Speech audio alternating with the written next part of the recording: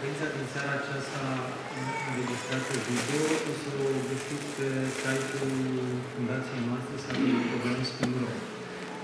Mulțumim de Părintelui Damaschi. Um,